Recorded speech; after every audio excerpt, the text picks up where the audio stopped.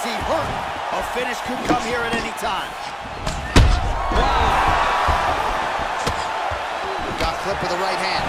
Oh! He's out! It's over. It's over. What a fight.